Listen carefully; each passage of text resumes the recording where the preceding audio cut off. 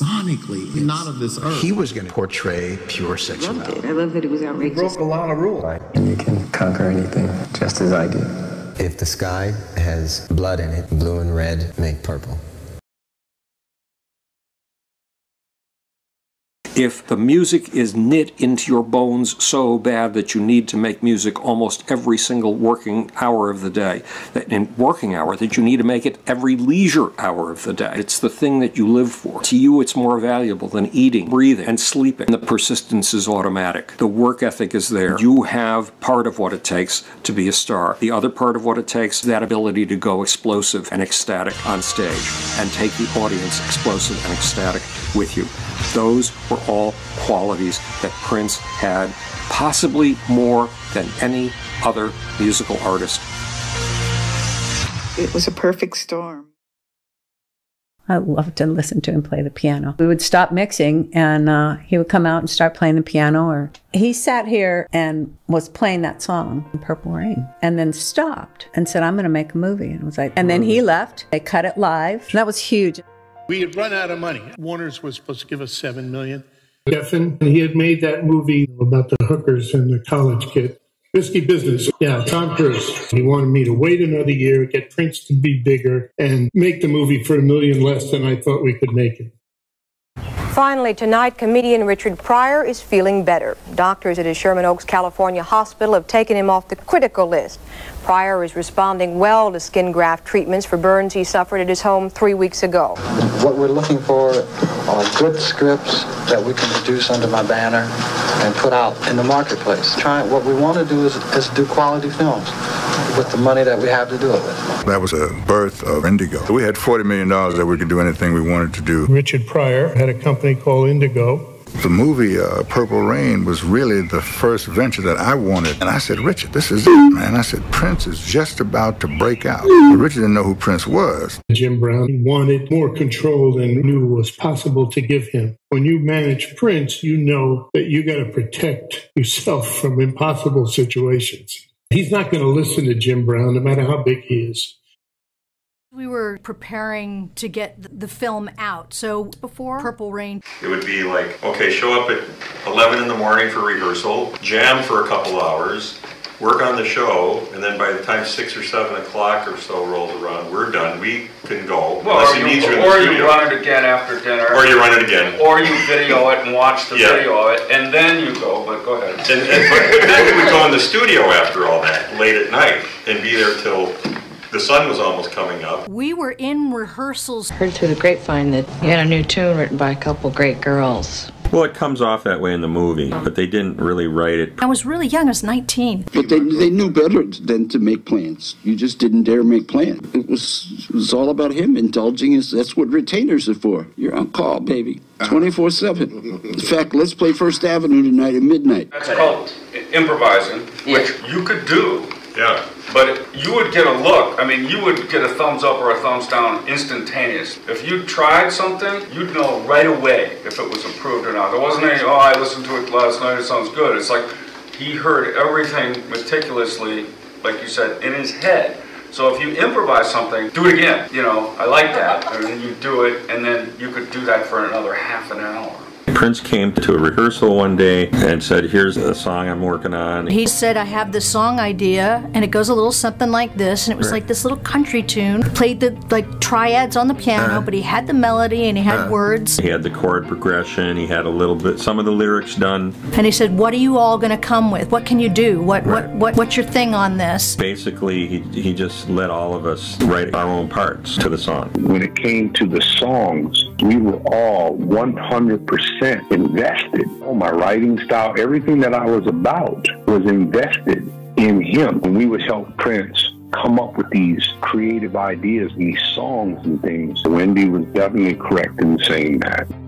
And I thought to myself, how do I make those chords bloom mm-hmm. with this very simple melody? And I stretched the chords and we started working out all of our parts to Purple Rain. And yeah. and I just came up with this iconic intro came out yeah. of me. And Prince kept having me play it longer and longer and longer.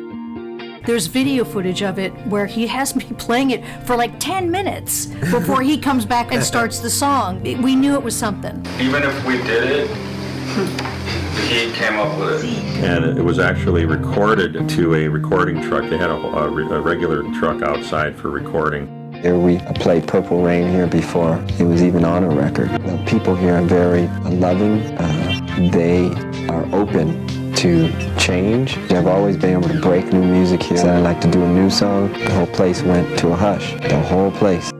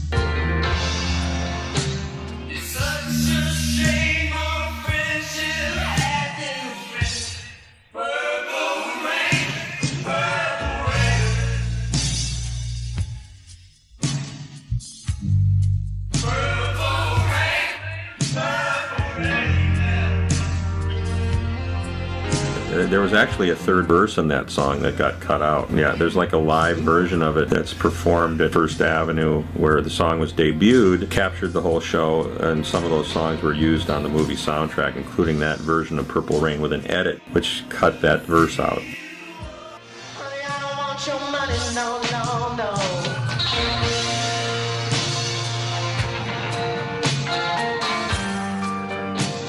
Actually recorded that evening the, that night at First Avenue was um, a foreshadowing for sure because there were at least three tracks that ended up being the you know the recorded versions for the album. It was my first show with the band.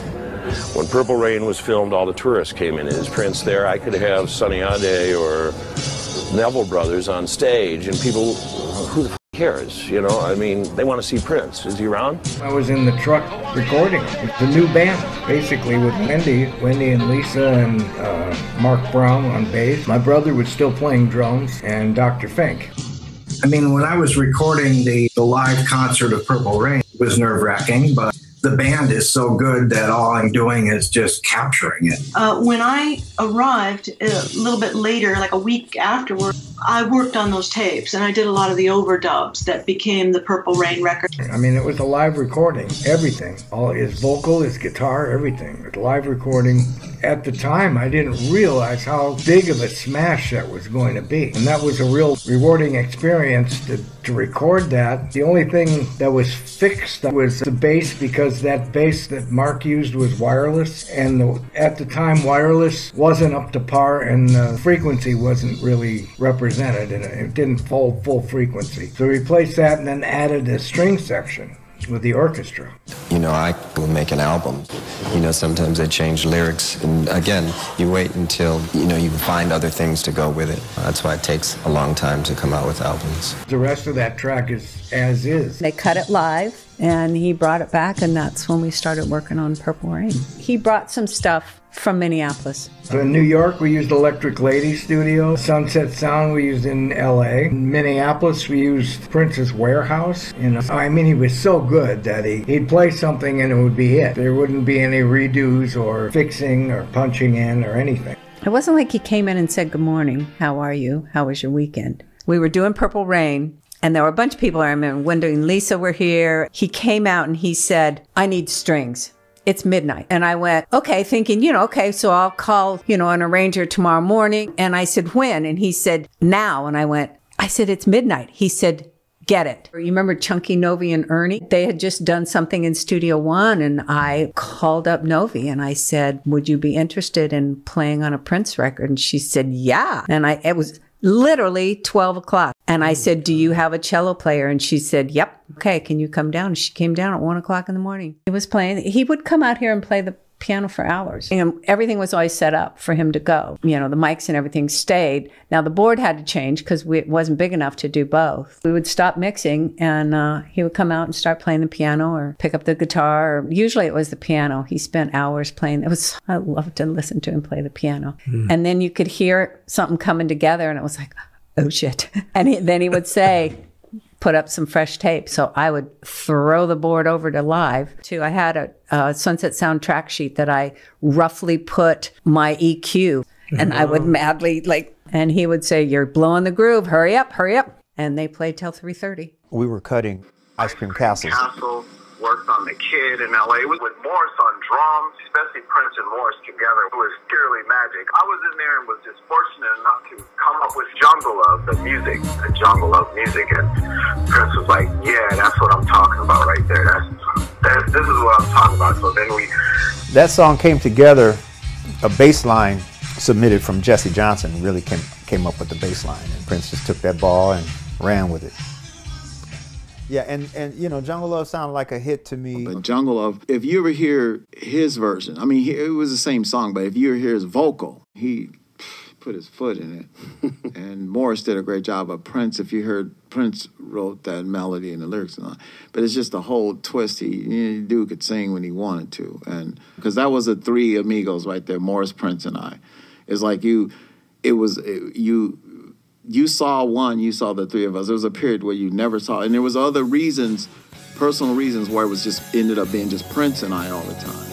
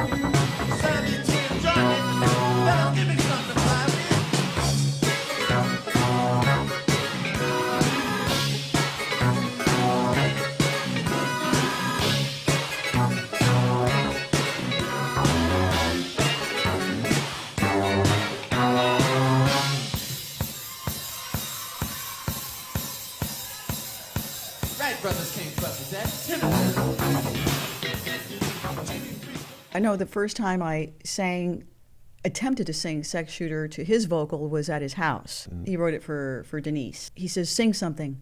So I sang uh, When I Get Older. And I'm 64. He just looked at me like, I had a great time doing it. Uh, I didn't sing the entire song because I got nervous. And he was like, okay. And he said, he goes, your voice is sweet. You know, I was like, all right. And that was the first time. He was the producer, he was the artist, and he was the engineer. He needed me, but he also knew a lot himself, you know. Purple Rain is kind of a spontaneous thing, even though it was completely pre-written by him as a song. He let it go and let the band kind of develop their parts and let it play. you know, there's one thing about the individual, and there's another thing about the persona of the, of the individual through the press. The thing is, is that Prince and his team realized very quickly that they were truly entering a new medium, and there was never any discussion about, well, we have to do this and we have to do this. I pitched the project. They they said yes. You know, Prince "Man, I trust you. Let's just you know, let's go." I wrote the script in 21 days in a hotel room after doing like three weeks of research with the whole Minneapolis group we're making this, we got to do it this way. This is the way the costumes have to look. This is the way the lighting is. Here we go. Rock and roll films had not been very successful in Hollywood up to that point. Um, for some reason, they just were not working. I think I know why they're not working, and this is how we have to approach it to ensure that this one does work. Because you know, it's a hard thing to make a film, and it's it's incredibly difficult. And there's really very little time to have a discussion about who's like going to pull the string. And there is no reason to even get involved in a project unless you know who's pulling the strings. The things that had made him successful in the music world were not translatable into the film world. The inspiration for that song is it was a movie. The songs that ended up in the movie, he and Magnoli went through to pick out what would work for the film. And there was still one missing song. Al said, I think we got most of it, but there's something missing. I don't. It, you need one song that encapsulates the whole vibe of the film. August 3rd, 1983. I was in First Avenue when Prince played his concert. He played some of the songs we had already selected for the film. We're missing the song. That song which releases you finally to become the person that you should become. He and the Revolution performed. And then there's a song that's played. So after the concert was over, I went to Prince and I said, There are four songs back, or three or four songs back. It kind of reminds me of a Bob Dylan ballad. He goes, Oh, you're talking about Purple Rain. And I go, Yeah, that's the song. And he said, Can we call the movie Purple Rain? If I do something that I think belongs to someone else or I think sounds like something else, then I'll just do something. Journey had recorded faithfully. A couple of years go by. Bob Cavallo sends a cassette. This is going to be the lead track of his first film called Purple Rain. Perhaps he may have inadvertently been inspired by the outro of Faithfully. Jonathan Cain, myself, and Neil listened to the outro of Purple Rain. Now he's singing Purple Rain, Purple Rain.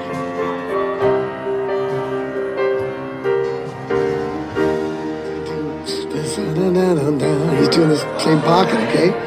Purple rain.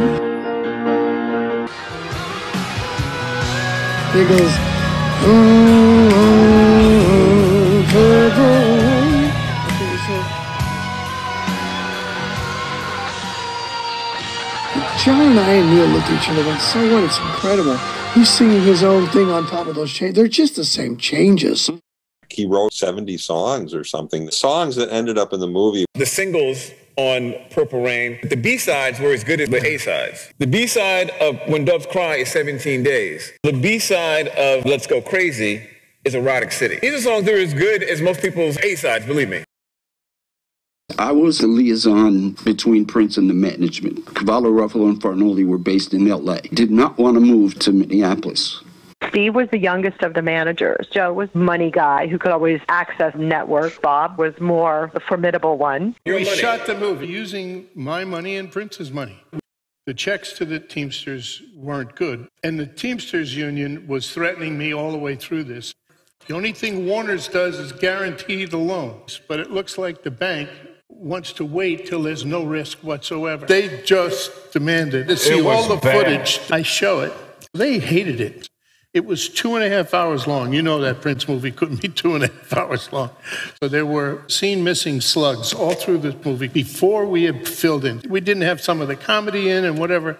Bob Daly and Terry Semel stand up in the screening room and turn to Mo Ostin and say, you want to give me another one of your rock and roll acts to make a movie? Mike Ovitz, he turned around and yelled at those two guys, hey, if you don't want it, we'll have, you'll have a check in the morning. We'll take this. Bob, I think you've got something great here. I can see when you cut this, it's going to be fantastic. So th- he basically intimidated Warner Brothers. They, they surrendered immediately. Vanity got into a money issue with them where she wanted to get paid a certain amount to be in the film, and they did not want to go with her terms. So they couldn't come to terms as to her salary, and she was cut out of the film. Ladies and gentlemen, we'd like to present the artistic director for the Minnesota Dance Theater, Miss Loyce Houlton. He was playing live. It was a show for Loyce Houlton. It was a dance instructor that helped him and the band staging their choreography.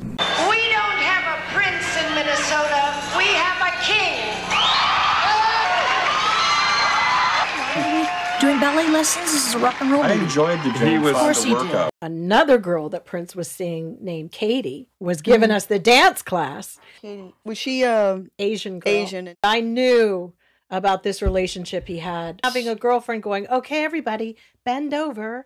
Now do this. And our choreographer, you're passing off as the girl who's working in the dance studio. But it took Denise a minute to figure it out. There was a lot of like question marks going Mhm. around, like what his status was with Susan. What the hell is going on? You know, it's been said that he was dating Denise and Susan and thought it was going to be like a purple orgy, you know, bodies and everything. But there was a lot of sexual energy during the production. Yeah, and it was very strange because we all just sort of functioned. Well, What kind of classes were you taking? Acting classes. We had acting class, we had ballet class, we had Matter of fact, there's a little story I can tell you about that. I was taking acting classes prior to doing the film. They kicked me out of class for clowning. They just threw you right out. They threw me right out. I mean, they said, Morris, uh, getting perturbed with you, making everything funny. You know, every skit we give you, you're supposed to be kind of dramatic and everything, and, and you make everybody laugh. So It looks yeah. like you have gonna have a, quite a career ahead of That's you. right. right, and my acting teacher can't take any credit for that. That's right. Another actor was our teacher, Don. Through a whole summer, and Prince was really excited about that. you know, and Prince participated in these classes with us, and it was fun. Don somebody, he was teaching us. Then he started doing like improvisation stuff. You know, improvisations can go anyway. There was a little tension on with um, two lead people. They were doing improv, the two of them? Mhm. Oh. Berry Gordy contacted me, wanted to talk about Denise. Someone would know that, that he had interest in you. It just spreads like wildfire. Then it just turned into like leveraging each other. He wanted her for the film. Prince was coming to me saying, like, she wants more money for the movie and blah, blah, blah. And I'm like, I think that that that was the nail in the coffin for the movie. Her agent Hal had been mentioning that he wanted her to get out of this. When Vanity dropped out, he was like, "Do you know anybody?" Mm. And I said, "I have a friend Gina. Maybe she could do it." Gina Gershon was up for the part. I knew mm-hmm. Gina from high school. We tracked her down. She flew to Minnesota. He went out and she went back to his house and whatever. And then she, I saw her the next morning when she left. And Mhm. I don't know what happened back at that house. And he was like, "Gone." she wasn't that type that he wanted. He said, You got to do better than that. The type of beauty that he was looking for had to make vanity nervous. Striking beauty, beauty walking in the door. You know, all that time we've been rehearsing with Vanity, with Denise, and I was used to, to her. So a new energy walking in was like, oh man, oh, is this girl too good to be true? I mean, really. But even off screen, I didn't hang out with her during the filming.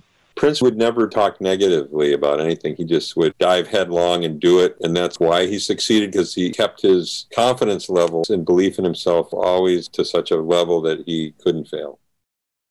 And Billboard does this huge Michael Jackson special. He sold all these records. But the last page was a giant ad for Purple Rain. It says, The Purple Rain will begin. Thriller was also the setup for Purple Rain. You know, you had Michael making that mini movie. Prince was very competitive. I mean, he really took it to everybody. Uh, oh, Thriller? Oh, I'm doing a movie. He never doubted it. Right. Did everybody else around him? Sure. Everybody,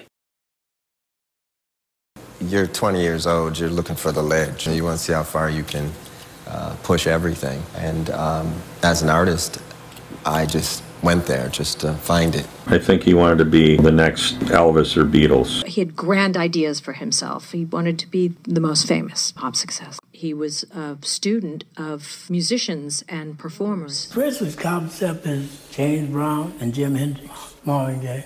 His concept on the stage is like Charlie Chaplin. If you look at it, you'll see. I can see it, but he doesn't tell anybody that. And he combines all that all the time. That's what he is. How can you miss with, with that? Some of his looked like Mick Jagger. And then he got precise with the stuff like Michael Jackson. So he took everything that worked for the biggest people, he put his interpretation onto it and made it his. He was performing. He loved being a star. He was built for that loved the adoration of a crowd. And he knew it was going to take a specific thing to get that crowd going. Let's Go Crazy was recorded at the warehouse at rehearsal. Um, Let's Go Crazy was done, I, I, do remember for a fact that it was done in the evening because most of our work was, was done in the evening. But, uh, you know, try this, Lisa, try that, Matt, Wendy, why don't you do this? Dearly beloved, we are gathered here today to get through this thing called life. Electric word, life, it means forever, and that's a mighty long time. But I'm here to tell you there's something else the afterworld. Um, he would have worked with the band, arranging parts right there. Don't like the world you're living in. Take a look around you. At least you got friends. I call my old lady for a friendly word. She just picked up the phone, dropped it on the floor.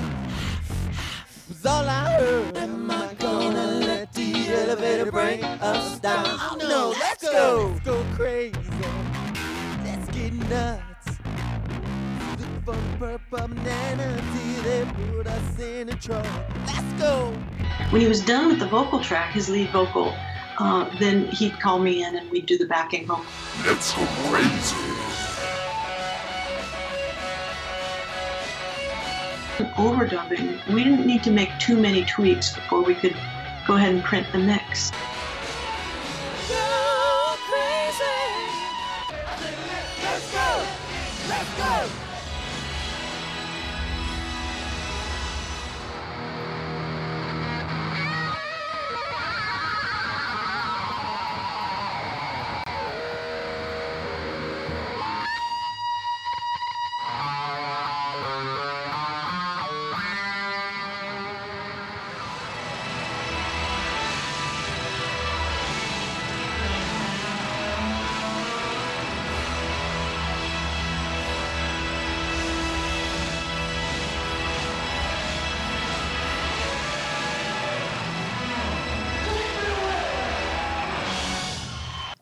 Purple Rain was about to come out. We happened to be in New York at the same time and happened to be staying at the same hotel. But he called and I said, Well, where are you? And he said, Downstairs.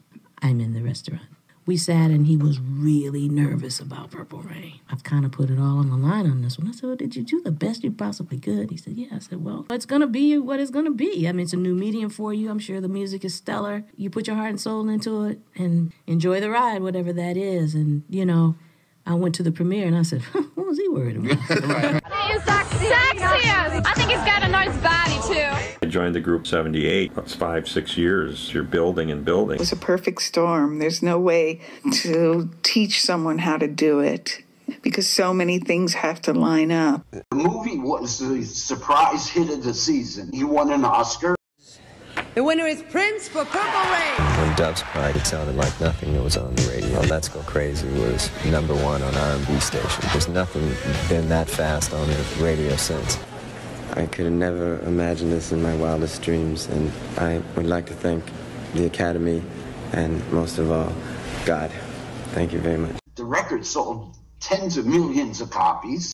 It wasn't just the music, it wasn't just the movie, it was the fashion, it was the style. And he had black and white kids dancing together in his videos and in the film. It's limitless. We just scratched the surface with all that stuff. I got a lot of surprises.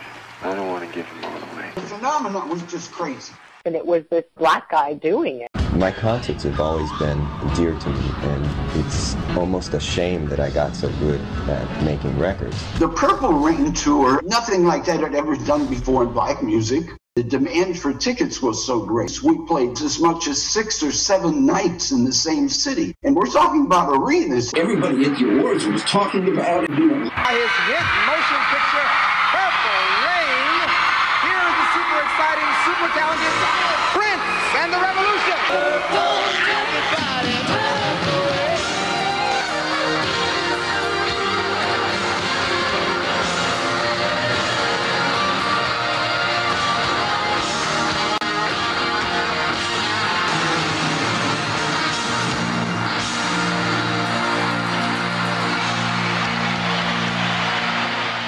The nominees are Lionel Richie, Purple Rain, Thriller, Purple Rain, Prince Life is death without adventure. Adventure comes to those who are daring and take chances. I'm not much into awards and things like that, but the, the honor was great. It was wonderful to be around great people, uh, the other musicians in the room. The rest of pop music was operating within the gray. His guitar playing, I mean, he just, he turned into a monster. If they really listened to my stuff, they would hear more of an influence of Santana than they would um, Jimi Hendrix. Only because he's black. Jimi Hendrix played more blues and um, Santana played prison. It's it, it's but you can't compare people anyway. If somebody's just blatantly trying to rip somebody off, then you can't really tell that unless they play their songs. You know, see, you gotta understand something. There's only so much you can do on an electric guitar anyway.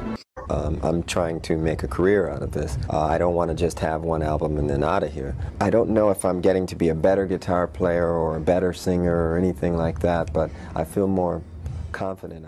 On, under the Cherry Moon, he was two albums past Purple Rain by the time he was mid-tour. Or he was just done with it and ready for the next thing. He got way in front of himself. I think if he would have really milked the Purple Rain experience, oh, it would have been even bigger than what it was. That mountaintop situation is not really all it's cracked up to be. When I was doing the Purple Rain tour, I had a lot of people who I knew I'd never see again at the concerts just screaming in uh, places they thought they were supposed to scream. He had Around the World in a Day in stores two weeks after the tour ended without a single, sounding nothing like Purple Rain. I sort of had a FU attitude. I didn't want to make an album that was like the second shit. I think the smartest thing I did was recording Around the World in a Day right after I finished Purple Rain. Two albums sound completely different. The trip is people think, oh, it's not half as powerful as Purple Rain or 1999 or something like that. You know how easy it would have been to open Around the World today with a guitar solo that's on the end of Let's Go Crazy, just put it in a different key? That would have shut up everybody that said it's not going to be as powerful. I was making something for myself and my fans. You know, record sales, it, it, it really doesn't matter, you know. I mean, it keeps the roof over your head and it keeps money in all these folks' pockets that I got hanging around here. With Prince, there's this constant tension of whether this guy is a stadium filling global superstar or was he the world's biggest cult artist. Purple Rain, he got to do both. Now that Purple Rain has made you such a huge superstar, do you worry about the possibilities of a backlash against you? I'm not afraid of a backlash. I don't live in a prison. I haven't built any walls around myself. I'm just like anyone else, and I don't really consider myself a superstar. Purple Rain and Thriller, that whole situation, like a virgin, never going to capture what we all did in the beginning. He really thought that people would be done with Purple Rain. It's one of those kind of records where there's the world before, there's the world after.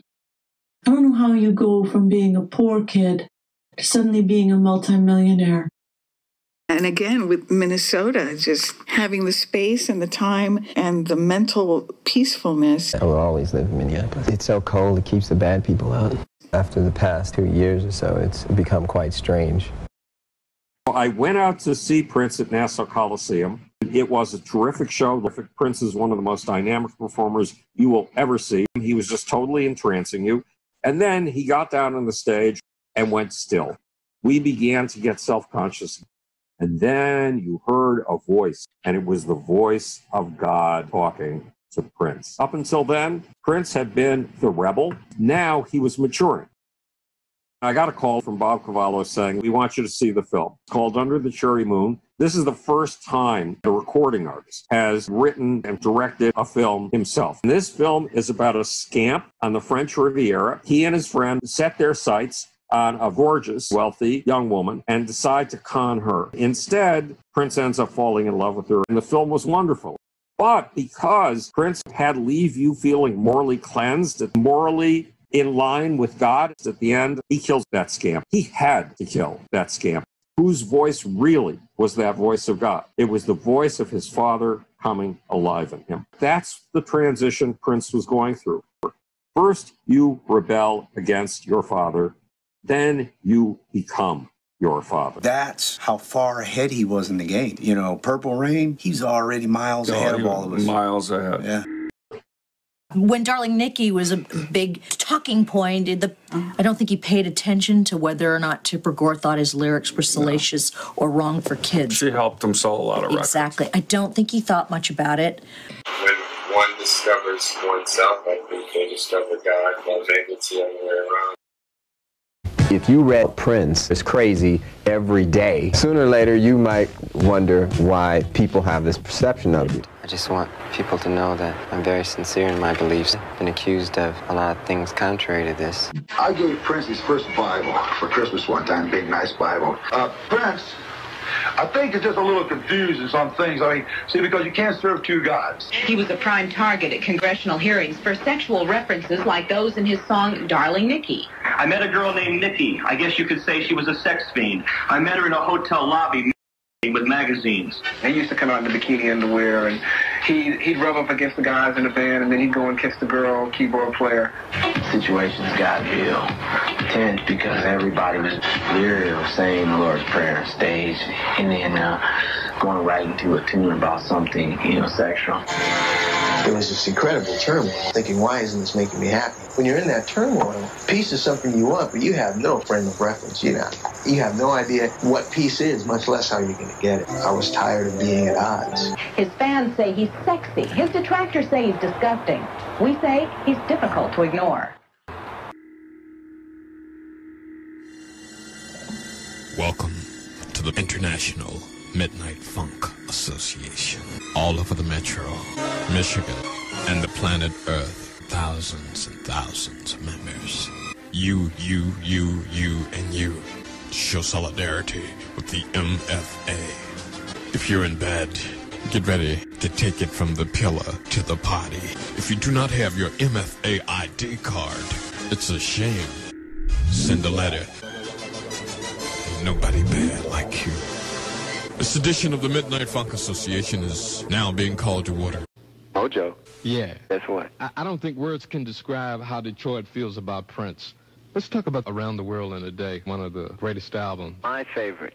Tunes like Around the World in a Day, Paisley Park. What type of mood were you in when you recorded that album? I sort of had a FU attitude. This one's just for all the purple people, and um, I think they'll understand.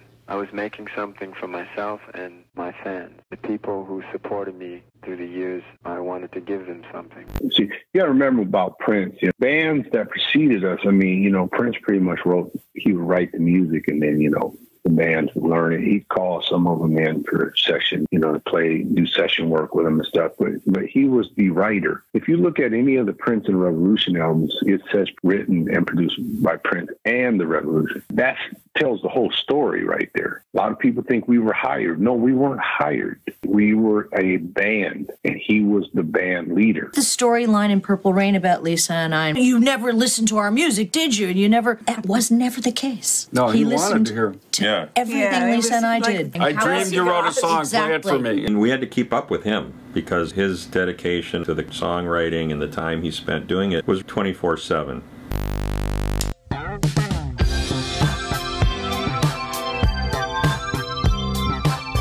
He didn't wait around. I record very fast. It goes even quicker now that Wendy and Lisa helped me. That's why the two albums sound completely different. He really started using the group. Before then, you know, he usually did it all himself. It was done before we even hit the first show of Purple Rain tour. He was already bored with Purple Rain. Out of boredom, I think I just try to change. But Purple Rain is something that people want to examine you know, and look back. He wasn't very good at looking back, so He just wanted to put it out. I'm not going to do any videos or any singles. Because I wanted this album to be listened to and judged, critiqued as a whole. He wanted to play more and more of that uh, songs live. They'll find it. You know, it was just going to appear. He didn't want there to be any single from it. He just wanted to put it out and let radio people find their own song to play. And I think he was talked into doing the video for Raspberry Beret. He said to me in that video, he said, I hate my hair. I said, yeah, I've got the Hulk's hair. They kind of did. Yeah, the bangs. He hated the bangs. Prince was getting more and more people into the gang. While those things were going on, we were in the studio writing. That's when he met my brother and Wendy's brother. And we recorded a bunch of stuff together. Lisa and I had gotten David, Lisa's brother, cassette tape of a song that him and my brother Jonathan had recorded called Around the World in a Day. It was written by Jonathan Melvoin and David Coleman, the brothers of Wendy and um, Susannah and Lisa. And it was a demo tape. They wrote a couple of new songs, and one of the songs was Around the World in a Day. And we listened to it in the car, and we ran into rehearsal and made Prince come out into the car and say, "You have to hear this." And we played it for Prince, and he, it just blew his mind. Prince listened and he goes, "Do you think he'd give it to me?" I said, "You better talk to him." took the tape out of my car. What's his phone number or something? And we cut the song at rehearsal with the whole band on stage, including David and Jonathan. That's when you started to see more and more people participating in uh, recording activities. He was tapping into Wendy and Lisa. He really relied on us. He would send a master with a scratch vocal, a piano idea, and say, "Finish this." A member of his staff would box it up and send that package on the next flight to Los Angeles. Someone who worked for his management would go out to LAX, get that tape, and drive it to Sunset Sound. Again, Sunset Sound, we lived there. Prince was at another studio flying back and forth. Pop Life, he said, I just need you to mix that song. When it goes pop, pop, pop, that's cut tape, not a DJ and I'm going to scratch this in. You take a razor blade and you just start cutting all the pieces and taping them to the wall, marking them of what part it was. There was a wall full of cut parts of the song. We would tape it back together. That's how I edited the song. I think it was with Susan Rogers. So when you had a song like Pop Life, the focus is going to be on the words, the arrangement. You have to frame those lyrics so that the listener's attention goes where you want it to go. That takes a little bit more time. Around the World in a Day is one of my favorite albums. It didn't connect the way Purple Rain did at all. Didn't come out of the gate right. You know? lost. Around the World in a Day is a funky album. Live, it's even funkier. It did not win back his core R&B audience, his soul audience. I don't think uh, I left my funk roots to begin with anywhere along the line. Um, didn't receive the attention in the press that Prince thought it deserved. Around the World in a Day it comes from an experience. I think that we enlightened him a little bit more about the Beatles. The influence wasn't the Beatles at all. I don't know how that would hang today. Coming from Purple Rain being a big mega smash, Around the World in a Day wanted the same audience, the same bigness, but The fans were not ready to let that go yet. When he formed the revolution, he knew exactly what he wanted. Really think too much about the. I didn't have much of a relationship to what it really meant in the big picture in him and his world. I was honored to be in this band. That was more like it for me is that, oh my God, I'm part of the revolution.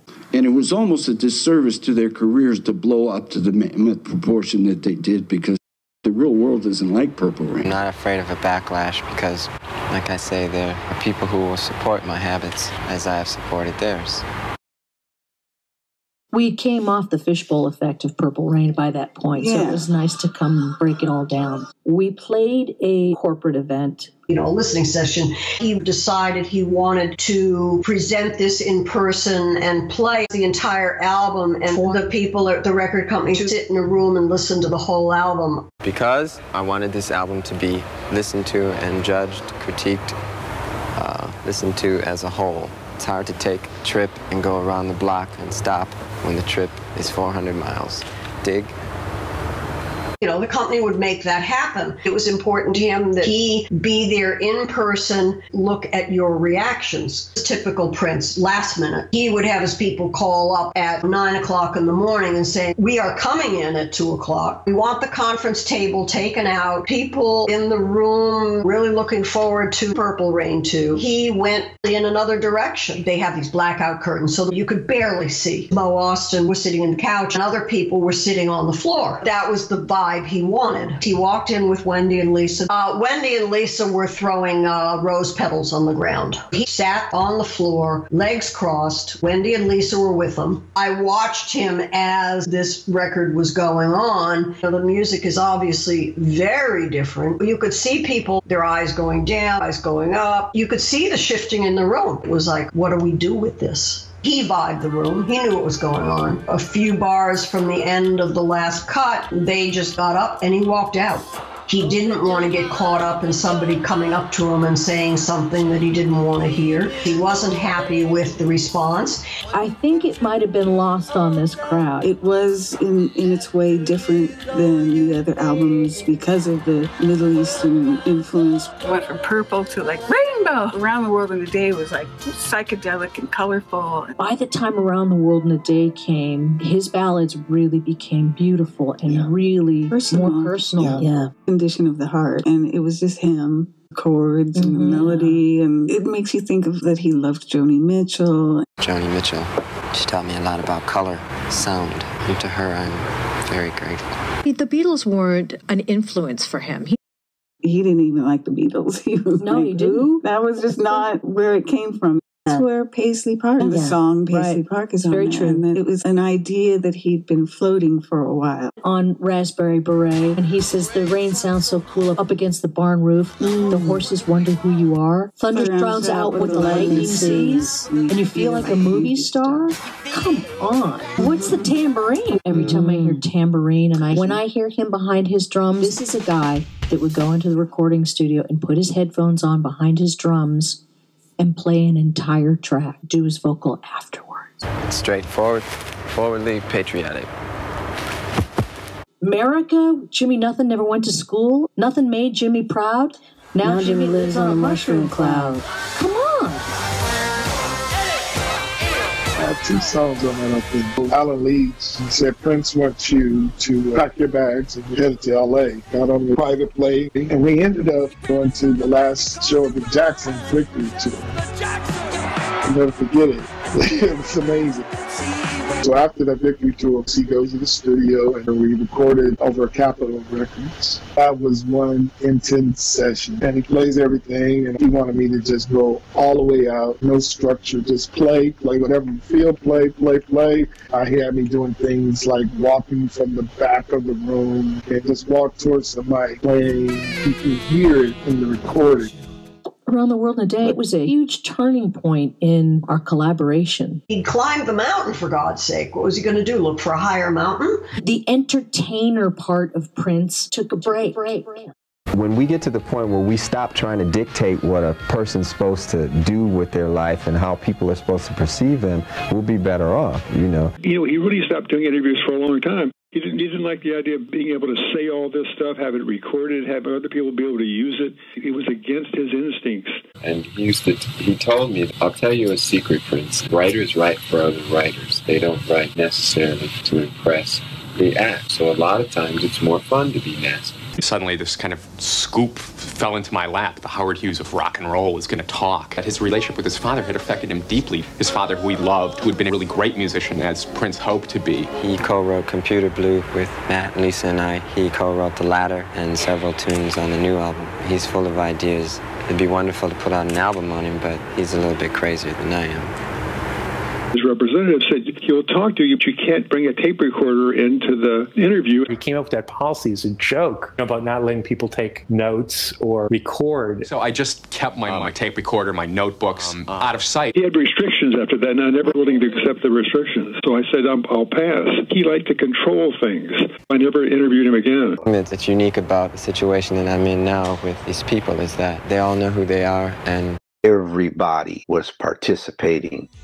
He did utilize everybody. Purple Rain, where we were all involved. Mark Brown wrote some stuff with Prince, Wendy and Lisa, heavily utilized. And then Around the World in a Day and Parade album were collaborations with Wendy and Lisa. He had come to the point to trust us so much. I don't know why no that rhyme or is. reason why we're not accredited as writers on one, and then we're, I don't we just did some weird stuff. Prince is very was very random. I felt I was underutilized. We jammed constantly every day. We were just having fun. and to do it with the person that I was in love with, my girlfriend, and with the most important artist of my generation. After a project was done and you'd listen back to your work, They had his back, allowed him to experiment musically. And we were just writing a million songs a day. 24 7 recording. There were hundreds of songs made. Within those songs, Around the World in a Day was recorded. There are four or five different records of the revolution during those this period of time in the vault. And that moved right into Parade. Parade was dark, black and white. Parade, Dream Factory, Roadhouse Garden, Crystal Ball, all these records were all being done at once. Sometimes It Snows in April. That song was written April 21st, 1986. When he went in, Wendy and Lisa, and he recorded that live, the three of them together. You know, I mean, sometimes it snows in April was a perfect example of that. Three of us were in our room doing that, and he started singing those lyrics over these chords we were doing. I could see in him, it allowed him to feel even bigger feelings mm-hmm. that weren't overly sexualized or angry or just bratty, which he's uh, the master at. Sometimes we weren't in the same state. He would just send a master reel on an airplane. He'd send us ideas, sketches of songs, like a drum track and a guitar, piano and vocal, or he would just say, I need some background vocals or something that he wanted specifically. But then he'd also say, just put your stuff on it. He wrote music constantly. I think Kiss is my best work. And, you know, that was an experiment in science. After Purple Rain, that was a huge blowout.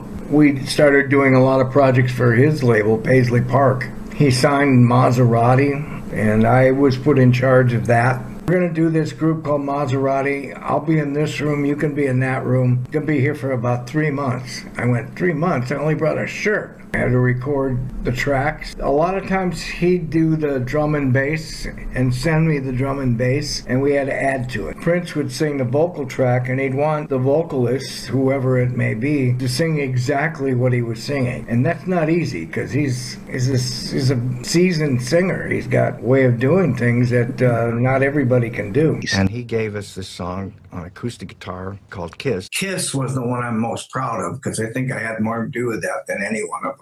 Really interesting story because Kiss came about totally accidentally. It was for a group that he had signed called Mazarati that I was producing. when he brought me Kiss, it was acoustic guitar. No particular rhythm, just straight chords.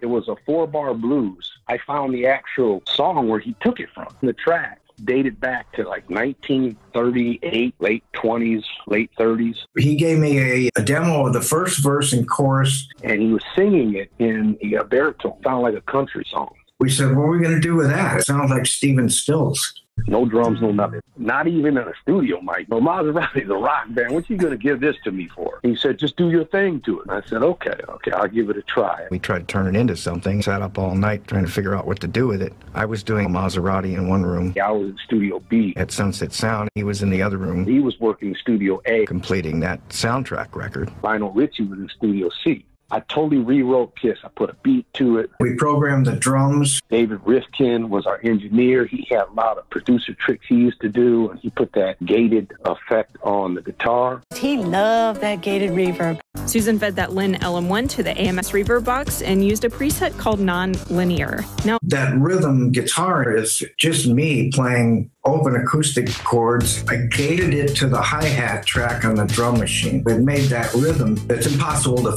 physically play. non-linear reverb just can't be replicated in the real world. Reverb in a natural setting tends to fade as the audio signal decays. Non-linear reverb, it actually gets louder. It but it made that song stand out. It's the shimmering, shaky rhythm. Gave you that. The other problem we had was singing it. Yeah, he gave us a cassette. He gave us a cassette with him just doing straight acoustic guitar strum, and he was singing one verse. That was it. And it sounded like a folk song. We took it back and we went, what the hell are we going to do with that? And uh, I started programming the LM1, the drum machine, and um, in order to fill out the rhythm, I did what he did, and then I went, nah, that's not funky. That's really, really straight ahead. So I didn't like the way it sounded. It was real plain.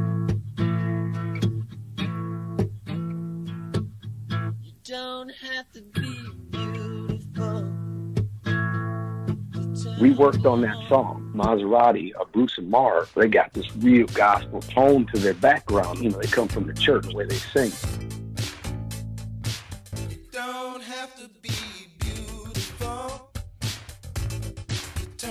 Next thing you know, Kiss was born. The, the main guy from Mazarati sang the lead, but it was an octave lower than what Prince sang. The guys in Mazarati, I had them do a part from a Brenda Lee song called Sweet Nothings, and they sang, eh. That was the background for her song. We just stole it. And it's only three notes, so who cares? We were working on it all night. I added a piano from a song that I was I always liked. It was a Bo Diddley song called "Say Man," and the piano was like. It was like a little trickle of a piano in there. We put that in there, and then we finished it. He listened to it, and I could see by the look on his face what he never knew that song could become I had brought it to. He looked at me and said, Are you guys going to go to dinner? I said, Yeah, I'll probably be back in about three, four hours. Why? He said, Let me do some work on it when you come back. I came back in four hours. I came back the next morning about 9.30 and I said, Where's my tape? He had already come in. He had his vocals on it. So he had already put his voice on it. All new guitar. He already put his guitar on it. Kept the music and everything the same. There was a bass part on it. Took the bass out. You know, he removed a lot of the stuff that was on there. And he said, eh, That's too good for you guys. I'm taking it back. I was speechless. And I looked at him and I was like, You did all this in four hours. He, he says, This is a song that'll be better for, for us. And I was like, us? Who's us? Prince and the Revolution. You're going to let me be a co-writer on your album. You know, you know I'll take care of you, Mark. I never got a dime from Kiss. I co-wrote Kiss. This was the first song that I was going to be credited other than just an engineer. I was devastated, and he also renamed me David Z. That wasn't my name on the first four records. And I talked to one of the people at Warner Brothers. They said, no, it sounds like a demo. There's no bass, there's no reverb. It sounds like we did it in your basement. We're not putting that out. We don't like it. He had enough power at the time to say, you put that out first, or I'm not giving you another single. With the singer singing an octave lower, it didn't have the full impact. I mean, Prince's voice is key there. He's done a lot of things that were so different from what was happening at the time that it was a shock value. I think people don't want ceilings placed above them.